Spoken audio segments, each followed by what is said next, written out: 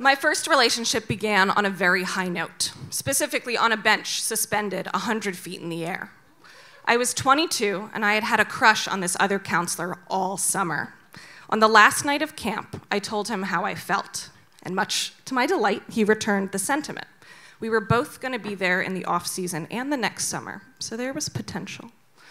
For our first date, we decided to climb a challenge course element called the Tower of Terror.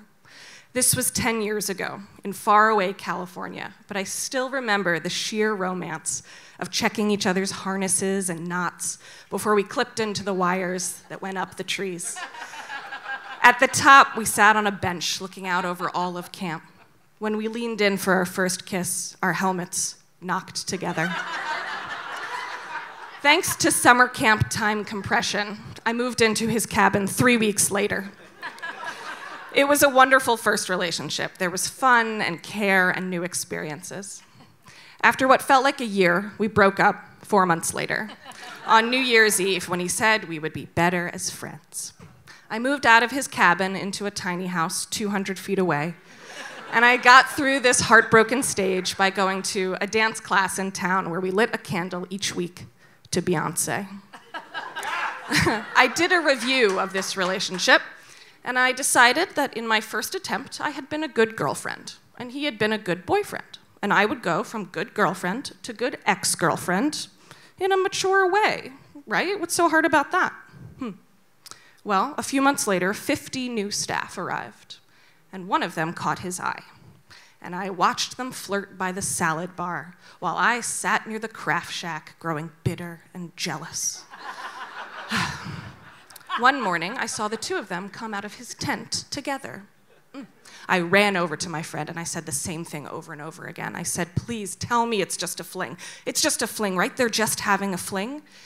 And she said, Tess, she told me truths I didn't want to hear. I wasn't dating him anymore. He could do what he wanted. And also, we were late for breakfast and it was pancake day. Okay. Well, a few weeks later, I was desperate to scratch the itch that was the bug bite of being a bystander in my ex boyfriend's love story. So I demanded a conversation with her about how their budding relationship was a problem for me. It's for the good of the camp community if we're honest with each other, I told her as we coiled ropes by the climbing wall. And for some reason, she agreed. Well, so I talked at her for a while. I explained how important the relationship had been for me, how hard it was to see them together.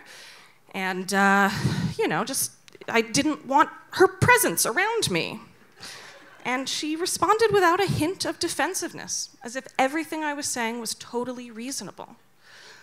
She was warm, she was understanding, and she, she said, I understand, and just in case you're worried about it, it's just a fling. It's not going to go on very long.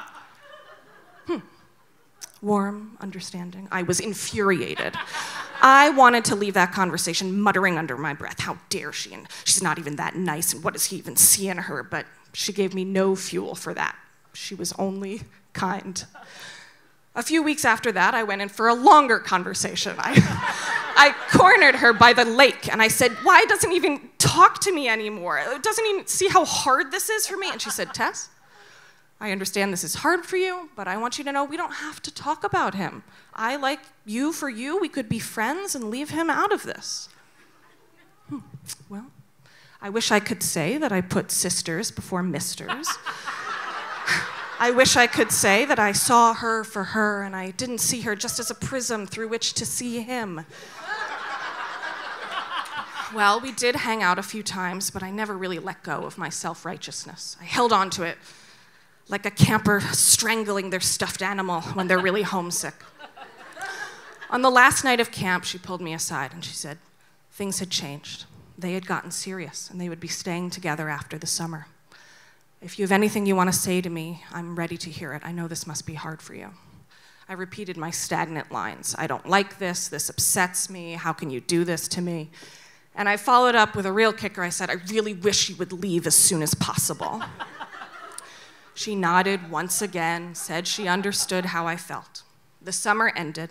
They left together. I left alone. Over the years, I told this story as if he was the ex, she was the nuisance, and I was a victim of the whole thing. I got a lot of sympathy when I told it that way. Eventually, I saw the characters in a new light. There was a nice guy, an extraordinarily patient woman, and an ex who was a dramatic mess for far longer than she was anything else. There are things you learn while you're in a relationship, and there are things you learn while you're the ex. I got a lot from him, but I got way more from her. I got compassion, I got grace, so much of it that I was able to give it to myself over the years and eventually see it for what it was. It was my first time in love, my first time being an ex. How could I not be messy? I wish the two of them and their baby all the best.